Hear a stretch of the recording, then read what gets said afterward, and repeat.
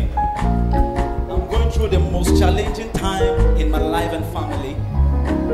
And I feel like everything is gone. Everything is gone. Nobody can understand. But sitting right here, while they were singing the song, the hymn song, the, the, the, the first song they were singing, I felt like the burden is gone. I felt like everything is gone. Like everything is gone. Ah, One, two, three for Jehovah Jireh, Jehovah Nissi. You are my Ebenezer, Jehovah.